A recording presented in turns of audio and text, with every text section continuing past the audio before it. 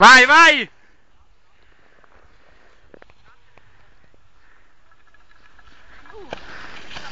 Bisogna prendere un po' più di velocità. Vai, prendi velocità! Prendi velocità là senza prendere i sassi.